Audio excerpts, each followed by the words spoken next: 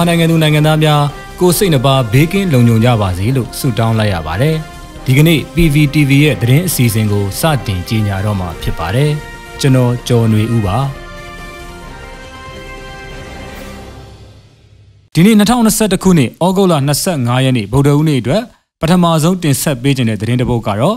ငင်းချမ်းရေးကိုမလိုလားပဲစစ်ရေးပြင်ဆင်မှုတွေလှုပ်ဆောင်နေတဲ့စစ်ကောင်စီကိုမလွဲမရှောင်သာခုခံတွန်းလှန်ဖို့ပြင်ဆင်နေတယ်လို့ အမျိုးသားညီညွတ်ရေးအစိုးရနိုင်ငံခြားရေးဝန်ကြီးဌာနဒုတိယဝန်ကြီးဦးမိုးစောဦးကပြောကြားလိုက်တဲ့သတင်းကိုတင်ဆက်ပေးမှာဖြစ်ပါတယ်။အကြမ်းဖက်စစ်ကောင်စီတပ်ကကချင်နဲ့ကရင်အပါအဝင်ဒေသအသီးသီးမှာစစ်ရေးပြင်ဆင်မှုတွေထိုးစစ်တွေလှုပ်ဆောင်နေတာနဲ့ပတ်သက်ပြီးဦးမိုးစောဦးကဩဂုတ်လ24ရက်အမျိုးသားညီညွတ်ရေးအစိုးရရဲ့သတင်းစာရှင်းလင်းပွဲမှာအခုလိုပြောဆိုခဲ့တာပါ။စစ်မက်ကိုလိုလားပြီးတော့ငြိမ်းချမ်းရေးကိုမလိုလားဘဲနဲ့စစ်ရေးပြင်ဆင်မှုတွေလုပ်နေတာစစ်ကောင်စီပဲဖြစ်ပါတယ်။ စစ်ကောင်စီရဲ့စစ်ရေးအရာထိုးနှက်မှုတွေတိုက်ခိုက်ဖို့ပြင်ဆင်နေတာတွေကိုတော့တစ်ဖက်ကပြန်လည်ပြီးတော့မတက်တာဘူးပေါ့နော်မလွဲမရှောင်တာပြန်ပြီးတော့ကျွန်တော်တို့ကခုခံတွန်းလှန်ရမယ့်တာဝန်ရှိပါတယ်အဲ့ဒီအတွက်အားလုံးခုခံဖို့ပြင်ဆင်နေတာရှိပါတယ်ဟုဦးမိုးစောဦးကပြောပါတယ်ဒီလိုခုခံတဲ့အခါမှာအမျိုးသားညီညွတ်ရေးအစိုးရပြည်သူ့ကာကွယ်ရေးတပ်မတော် PDF အနေနဲ့တိုက်ပွဲများနဲ့ပတ်သက်တဲ့စီမင်းစည်းကမ်းတွေစစ်တီတွေလိုက်နာရမယ့်ကျင့်ဝတ်တွေ Geneva Convention ကဲ့သို့နိုင်ငံတကာရဲ့စီမင်းစည်းကမ်းတွေ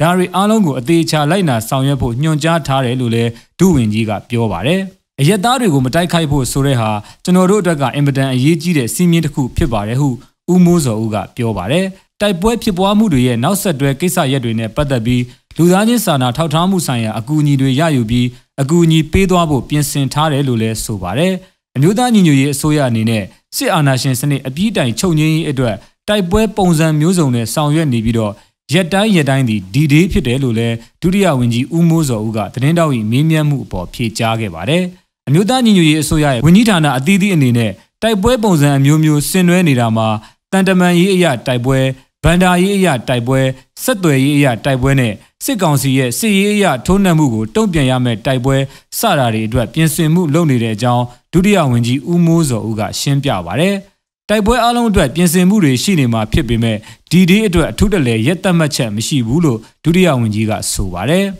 ကျွန်တော်တို့မြန်မာစကားပေါ့ကုသိုလ်ကောင်းမှုလုပ်ဖို့အတွက်ဆိုရင်ရက်တိုင်းကရက်ရာစာပဲလို့ပြောတဲ့စကားရှိတယ်လို့ပဲပေါ့လေကျွန်တော်တို့ကမတရားမှုတွေကိုဖိနှိပ်မှုတွေကိုတွန်းလှန်တိုက်ခိုက်တဲ့အခါမှာတော့ရက်တိုင်းကလည်းဒီဒေးပဲပေါ့ဒီဒေးဆိုတာဒီနေ့လည်းဖြစ်နိုင်တယ်မနှက်ဖြန်လည်းဖြစ်နိုင်တယ်ဟုဒုတိယဝန်ကြီးဦးမိုးစောဦးကပြောကြားခဲ့ပါတယ်မြို့သားညီညွတ်ရေးအစိုးရယာယီတမရဒူဝါလရှိလာကလည်း စစ်ကောင်စီကပြည်သူလူထုအပေါ်အကြမ်းဖက်တပ်ဖြတ်နေတာတွေကိုကာကွယ်ဖို့မလွဲမသွေတိုက်ပွဲဆင်နွှဲရမှာဖြစ်တယ်လို့အသိပေးထားပါတယ်။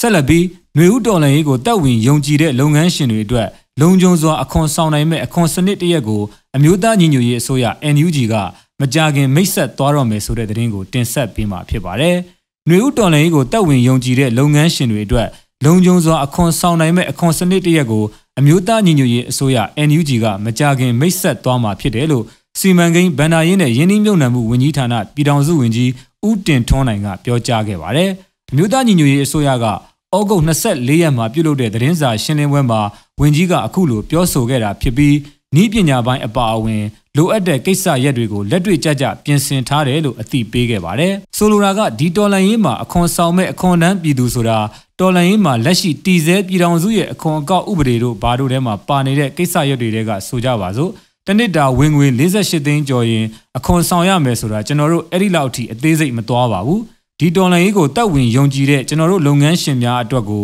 လမ်းဖွင့်ပေးတဲ့အခွန်စနစ်တစ်ခုကျွန်တော်တို့ NUG အနေနဲ့ မကြခင်မှာပြည်သူလူထုကိုချပြသွားပါမယ်ဟုဝန်ကြီးဦးတင်ထွန်းနိုင်ကပြောပါတယ်။တော်လှန်ရေးကာလမှာအခွန်ထမ်းလုပ်ငန်းရှင်တွေစိတ်ချလုံခြုံစွာအခွန်ဆောင်နိုင်တဲ့လမ်းကြောင်းကိုဖွင့်ပေးထားမှာဖြစ်တယ်လို့တော်လှန်ရေးပြီးရင်လည်းအခွန်ဆောင်ခဲ့တဲ့လုပ်ငန်းရှင်တွေကိုအခွန်တက်တာခွင့်တွေကင်းလွတ်ခွင့်တွေခုနှိမ်ခွင့်တွေစတဲ့အခွင့်အရေးတွေပေးသွားမယ်လို့ဝန်ကြီးကရှင်းပြပါတယ်။ပြည်သူလူထုနဲ့လုပ်ငန်းရှင်များကိုဒီနေရာကနေပြီးတော့ကျွန်တော်အထူးအလေးအနက်ထားရှင်းပြလိုတာက ကျွန်တော်တို့ကအခွန်အတုပ်တွေကိုဒီလိုကပ်ဘေးကာလမှာအခွန်အတုပ်ကိုပုံမိုပြီးတော့ပြည်သူလူထုကိုဖိအားပုံစံနဲ့ကောက်ခံသွားမှာမဟုတ်ပါဘူးဟုပြည်တော်စုဝင်ကြီးဦးတင်ထွန်းနိုင်ကပြောပါတယ်တော်လိုင်းရေးကာလမှာလိုအပ်တဲ့ကိစ္စရပ်တွေအတွက်ပြီးတော့နိုင်ငံရေးအရအခွန်ရန်တရားကိုလဲပတ်ရမှာဖြစ်တဲ့အတွက်အခုလိုဆောင်ရွက်တာဖြစ်ပြီးတော့ဒီလိုအခွန်ကောက်ခံတဲ့စနစ်ဟာပြည်သူလူထုကိုအခွန်ဝင်တော့ဝင်ဖို့မဖြစ်စေတဲ့လမ်းကြောင်းကနေစဉ်းစားပြီးစီစဉ်နေတာလို့ဆိုပါတယ် တပြိုင်နက်တည်းမှာဒီတော်လန်ရေးမှာကျွန်တော်တို့ຫນွေဦးတော်လန်ရေးကိုတက်ဝင်ယုံကြည်ခဲ့တဲ့အမှန်တရားဘတ်တော်သားလုပ်ငန်းရှင်များကိုလည်းကျွန်တော်တို့ကနေရွေးချယ်ပြီးဒီလိုအခွန်ရင်ကြီးမှုနဲ့မှတ်တမ်းတင်ထားခြင်းတဲ့သဘောလဲပါပါတယ်ဟုပြည်ထောင်စုဝန်ကြီးကပြောကြားခဲ့ပါတယ်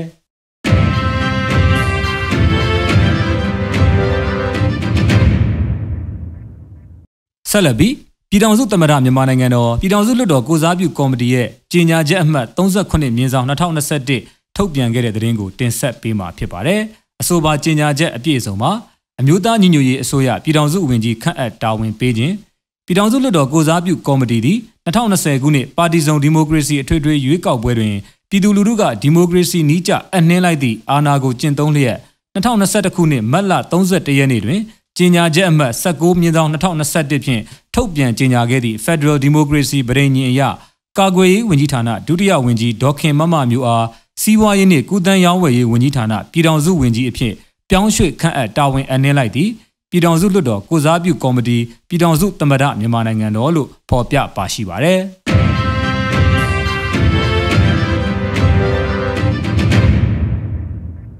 အခုနောက်ဆုံးအနေနဲ့တရုတ်ကွန်မြူနစ်ပါတီဗဟိုကော်မတီကအမျိုးသားဒီမိုကရေစီအဖွဲ့ချုပ်ဗဟိုအလုပ်အမှုဆောင်ကော်မတီထံသို့ကျေးဇူးတင်လွှာပေးပို့ခဲ့တဲ့သတင်းကိုတင်ဆက်ပေးမှာဖြစ်ပါတယ်။ သို့အမျိုးသားဒီမိုကရေစီအဖွဲ့ချုပ်ဗဟိုအလုပ်အမှုဆောင်ကော်မတီပြည်ထောင်စုသမ္မတမြန်မာနိုင်ငံတော်ရန်ကုန်လို့လိပ်မူပြီးနိုင်ငံတကာရေးရာဌာနတရုတ်ကွန်မြူနစ်ပါတီဗဟိုကော်မတီပေကျင်းကနေကျေးဇူးတင်လွှာတစ်စောင်ပေးပို့ခဲ့တာဖြစ်ပါတယ်။အမျိုးသားဒီမိုကရေစီအဖွဲ့ချုပ်တရုတ်ကွန်မြူနစ်ပါတီနှစ်တရာပြည့်အထိတ်အမှတ်ပေါ်ဝမ်းမြောက်ကြောင်းတဝင်လွှာပေးပို့ခဲ့တဲ့အပေါ်ကျေးဇူးဥပကာရတင်ရှိကြောင်းဖော်ပြထားတာတွေ့ရပါတယ်။တရုတ်ကွန်မြူနစ်ပါတီနဲ့မြန်မာနိုင်ငံအမျိုးသားဒီမိုကရေစီအဖွဲ့ချုပ်ဟာခင်မင်ရင်းနှီးစွာပေါင်းတင်ဆက်ဆံခဲ့ကြပြီး တရုတ်မြန်မာဆက်ဆံရေးချောမောစွာဖွံ့ဖြိုးတိုးတက်ရေးအတွက်အရေးကြီးတဲ့အခမ်းကဏ္ဍကနေပါဝင်ကြကြောင်းအမျိုးသားဒီမိုကရေစီအဖွဲ့ချုပ်နဲ့အတူတရုတ်မြန်မာဆက်ဆံရေးကိုဝိုင်းဝန်းစောင့်ရှောက်ပြီးနှစ်နိုင်ငံဆက်ဆံရေးဆက်လက်တိုးတက်အောင်လက်တွဲပူးပေါင်းဆောင်ရွက်ခြင်းဖြင့်နှစ်နိုင်ငံပြည်သူများထံသို့ကောင်းကျိုးပုံမူတည်ဖို့ရန်စန္ဒပြုပါကြောင်းတို့ဖော်ပြပါရှိပါတယ်။စာပေးပို့ခဲ့မှုနဲ့ပတ်သက်ပြီးပြီးခဲ့တဲ့ကာလများမှာ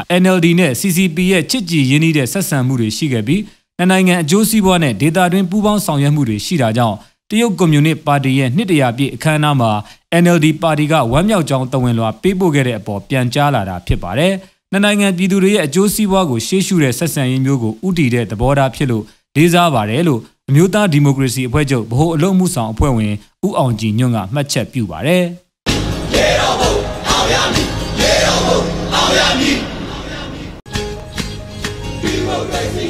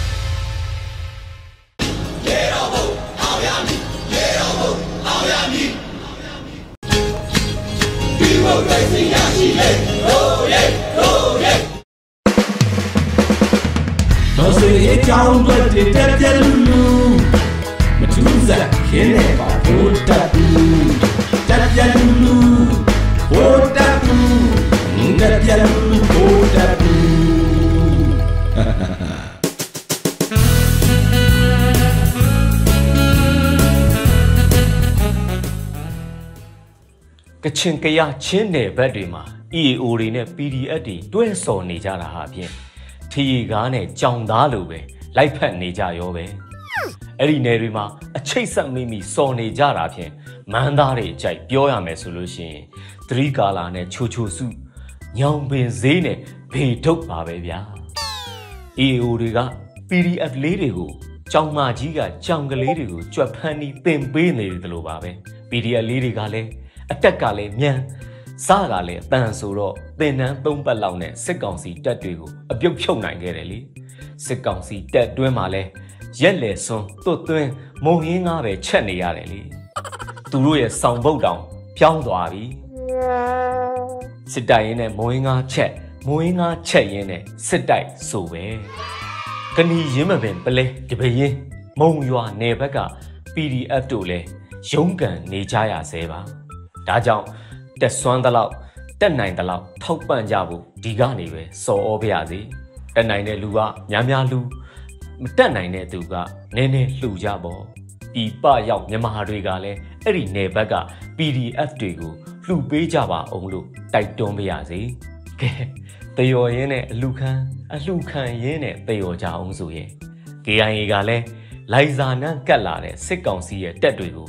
လက်နက်ကြီးနဲ့ကူပစ်နေလို့သာ တက်ရဲတယ်ဆိုပြီးရီမှမကြောက်ဘူးဆိုတဲ့အပေါက်နဲ့လက်ပမောင်းခတ်နေလေရဲ့စစ်ကောင်စီပထွေတရုတ်ကြီးကလည်းသူ့နေတဲ့ကြည်ကြလို့ဆိုပြီးထပွမ်းနေလေရဲ့ချစ်တော်ချစ်တယ်အလိုမလိုက်ဘူးဆိုတဲ့အပေါက်ပါပဲဘိုးတက်ပုကလည်းလိုက်စာကိုကြားတက်ထိုးမယ်နဲ့ဟန်ရေးတာပြင်နေတယ်သူ့ရဲ့တက်တွေရဲ့အစွမ်းနဲ့အင်အားကလိုက်စာရဲ့ကျူးကျော်ရက်ွက်နန်းတော်ရောက်မယ်မထင်ပါဘူးဘိုးတက်ပုရဲ့ပထွေတရုတ်ကြီးက သူ့နယ်တဲ့ကြည်တောင်အမြောက်ဆန်တစ်ခုကြရင်တောင်မှသိခံတဲ့သူမဟုတ်ဘူးဗိုလ်တပ်ဘူးဆိုတာကလည်းသူ့မရပါသားဆိုတော့ခြံထဲကကြက်လိုပဲသဘောထားပုံရပါတယ်နောက်တစ်ခါဆိုရင်လက်တုံပြန်ပြစ်မယ်လို့တောင်ပြောပြတာဘိုးတက်ဘူးခမမှာချီစိမ့်ပန်းပြီးတောင်းပန်လိုက်တာများတော်သလင်းလားခွေးထီအုပ်ထဲကရောက်နေတဲ့ခွေးမရမ်းမလေးအလားပဲလားဝိုင်းမော်ခလာရ58တက်က မုတ်ဆိုးမှတက်တယ်ကချင်ထဲမှာကြာရှုံးတဲ့ဘဲတွေရဲ့မိမတွေအဲ့ထဲမှာစုထည့်ထားတာ200ကျော်တောင်ရှိတဲ့ကျွံမရတပေါက်တွေလိုသဘောထားပြီးခိုင်းနေလေရဲ့သူတို့ခမများမှာလဲအာမခံကြီးမရတော့ဘူတက်ပုလက်ခုပ်ထဲကချီးလိုမျိုးဖြစ်နေလေရဲ့ဘူတက်ပုသဘောကျစားလိုကစားမြို့လိုကမြို့ပေါ့ဗျာအဲ့ဒီမိမတွေကိုလက်နက်ကင်ခိုင်းပြီးကင်းဆောင်ခိုင်းလို့ညဘက်ဆို66ပြစ်နေကြတဲ့ အမေလက်နက်ကြီးတင်နန်းတောင်ပေးထားတဲ့ဆိုပဲသူတို့ထုလိုက်တဲ့လက်နက်ကြီးကလည်းမှန်လိုက်ရင်ကျေးရွာတွေမှာရှိတဲ့ဝက်တွေကြီးပဲမှန်နေတာဆိုပဲဒါကြောင့်တက်တွင်းမှာလဲဝက်သားမပြတ်ဘူးတဲ့ခုဆိုတက်ဘေးကကျေးရွာတွေကိုတော့နှင်လှုပ်ကုန်နေပြီတဲ့အကြောက်တရားကြီးချက်ကတော့ဗျာဘုတ်တက်ပုကအကြံစိုးနဲ့ကြံနေတာလေသူ့တက်တွေကိုရှော့ချနေတာယုံခါနေတာ စစ်သားတွေကိုရှော့ချပြီးလကားတွေကိုဘက်လို့ရအောင်လုပ်နေတာလေသူ့သားတော်မောင်ကလည်းအာမခံရော်ကြီးတွေမပေးဘူးတဲ့နှစ်သီးစားဘူတက်ပူပေါ်တရင်မှုတက်မမှုတွေကလည်းဝေပုံချရနေတော့ရေခဲပါအဖရဲ့လို့လုံပေးနေကြတယ်လေဘူတက်ပူရဲ့အကွက်တွေကကွင်းပြောင်ပြောင်မှာချီပန်ခွေလွတ်လိုက်တယ်လို့ပဲဟိုတကွက်ဒီတကွက်နဲ့ရုပ်ပြက်ဆင်းပြက်ပါပဲတစ်ဆက်တည်းအာရိုက်ရရင်ဖြင့် မကွေးလေတက်ထဲမှာဘုံကွဲတာပေါ့ဆော့ကြော့ဆော့လို့ထင်နေခဲ့တာ RFA ကအတီးပြုတ်မှာပဲ confirm ဖြစ်တော့တယ်အပြင်ကထုတဲ့ short တိုက်ဒုံးတွေကလေရင်ဟန်ကာတွေကိုပဲဓာတ်ရိုက်ထိပောက်ကွဲလေသလားဒါမှမဟုတ် CDM စစ်သားကပဲ IED တွေနဲ့ခွဲလိုက်လေသလားမသိဘူးငှက်6កောင်ထိပြီးငှက်4កောင်ကတော့အမွှကျော်ဖြစ်သွားလေတယ်ကြံငှက်နှစ်ကောင်ကတော့ခေါင်းတလားဖြစ်သွားရောပဲ အဲ့ဒီဖို့ကောင်တွေဂုံယူနေတဲ့ဗျံလွားအမိနှစ်ခွ MG 29တွေပါသွားတဲ့လေအဲ့တဲ့ရင်မှုကတော့ရှေ့လျှောက်ဘဝခါလေပြီပဲသိတဲ့အတိုင်းပဲတက်တွင်းခုံရုံဖွဲ့စစ်ခံရလေတော့မယ်ချီးမြှောက်ဖို့သာလက်တွန့်နေပေမဲ့အပြစ်ပေးတောက်ဖြုတ်ဖို့ကတော့လက်မနေတဲ့ဘူတက်ဖို့လေကဲတို့တွေကတော့ကိုထမ်းနိုင်တဲ့ဝင်မှုထမ်းကြရင် ဦးတီယာကိုအရောက်ချိတက်ကြတာပေါ့လက်နဲ့မချပန်းနိုင်မပြောက်ဖို့သာအဓိကပဲလေလေပဲတက်နိုင်တဲ့အဘလေအိုးတွေကိုတော့အဆုံးသက်ပေးမယ်အဆုံးသက်တိုက်ပွဲမကြခင်အရောက်လာပါတော့ပဲအရေးတော်ပုံအောင်ကိုအောင်ရမည်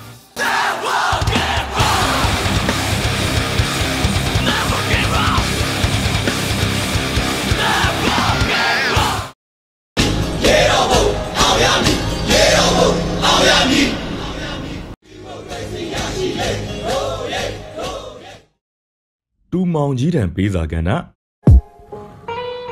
အိမ်ခွင်းအဝေးခွင်း online offline ထီရောင်းထီဝဲဘယ်နေရာမှာမှအသုံးမကျတဲ့ကိုမေကူအဲကိုမေကူဆိုးတဲ့တူမောင်ကြီးတို့အဖွဲ့တို့တူမောင်ကြီးမင်းအောင်လိုက်မနေ့ကရင်းမာပဲမှာမင်းကောင်နေ PDF တွေရဲ့မိုင်းဆွဲခံရလို့ အယောက်20လောက်တေကြကြေကြပျက်စီးကြတယ်ဆိုကွအေးဒင်းတို့တွေတေတာကမင်းအတွက်ပြဿနာမရှိပေမဲ့ဒီလိုကြာဆုံးတဲ့တဲ့င်းတွေကိုတက်မိသားစုတွေစီကိုမပေါက်ကြားစေနဲ့နော်မဟုတ်လို့ရှိရင်အသက်အာမခံကြီးထုတ်ပေးဖို့တောင်းဆိုလာကြလို့ရှိရင်မင်းရဲ့သားခေါင်းစားနေပါဦးမယ်ကွယ်အေးမင်းဒီမှာအပေါ်ဆုံးကစစ်သားဆိုတော့သူတို့တွေတေတာဘာအရေးလဲကွယ်ဘယ်ပြည်သူအတွက်မှလည်းမဟုတ်တော့ဘယ်သူကမှလည်း တနာမဲ့သူမရှိဂုံယူမဲ့သူမရှိတဲ့ဘဝတွေဆိုတော့သေလဲဘာတန်မိုးမှရှိတာမှမဟုတ်တာကွယ်မင်းအတွက်အင်အားနည်းနည်းလေးညော့သွားတာလွယ်လို့ဘာမှအရေးမပါလာပါဘူးဟုတ်တယ်မလားအဓိကကတက်မိသားစုတွေမသိဘူးပဲအဲ့ဒါမျိုးဖုံးဖိထားဖို့ပဲလိုတာပါခါတိုင်းလိုပဲပေါ့ကွယ်မင်းလိန်နေညာနေအမှောင်ချနေကြလို့ပေါ့ဘယ်သူသေးသေးမင်းတို့မိသားစုကြမ်းမှမှုပဲလိုအပ်တာပါမဟုတ်ဘူးလား တက်မိသားစုတွေထဲမှာလည်းအပြင်ကစိမ့်ပြီးတော့အတွင်းကကြိတ်နေနေတဲ့ဖရဲသီးတွေကလည်းအများသားကွ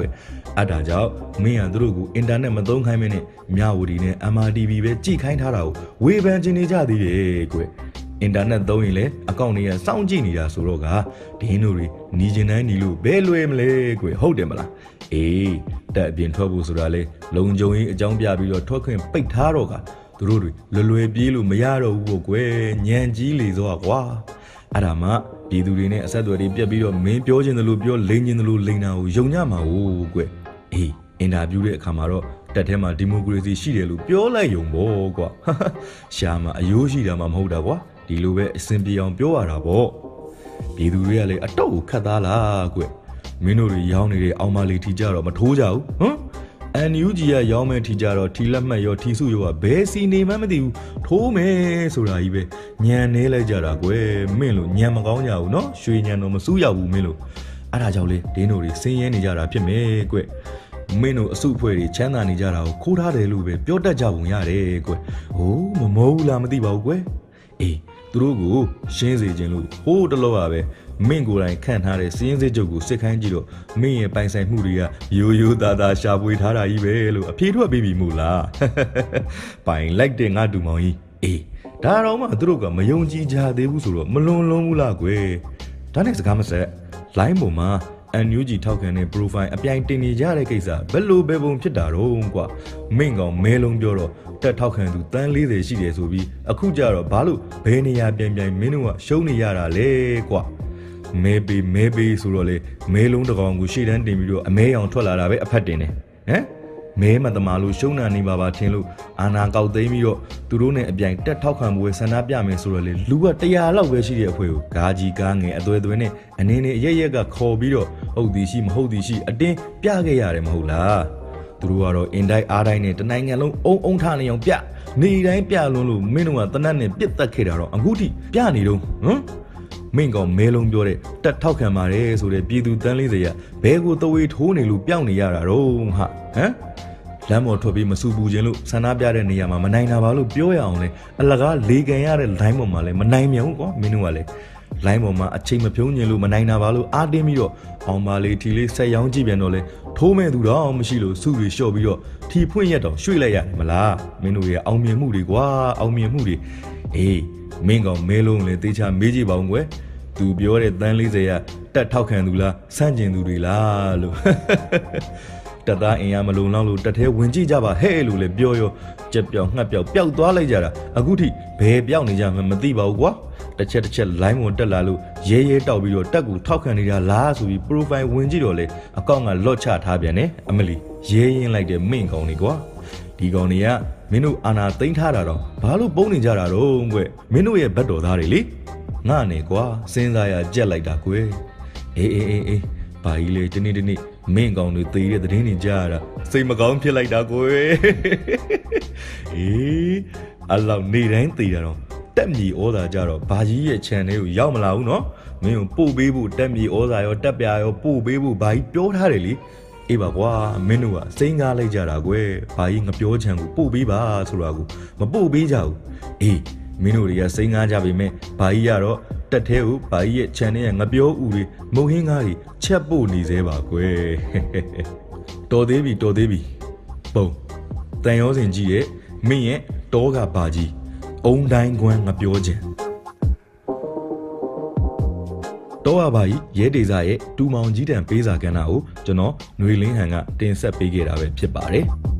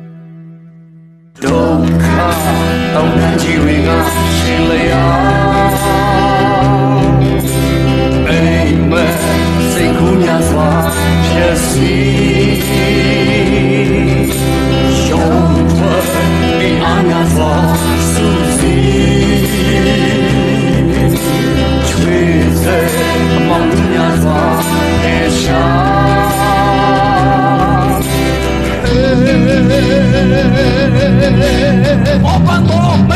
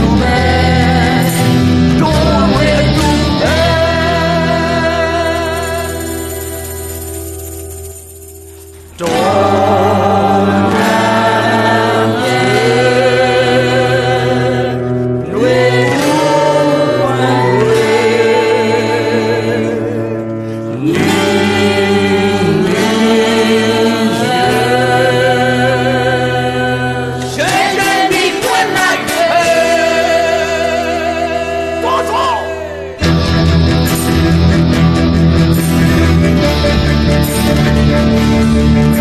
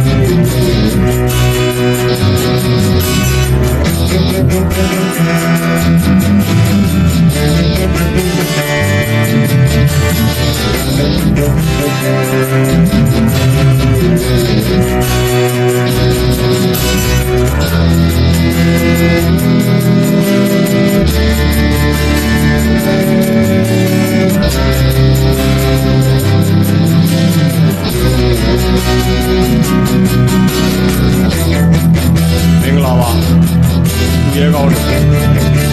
ချွေးဆက်အမောင်တို့များကိုဖယ်ရှားရင်ရှေ့ဆက်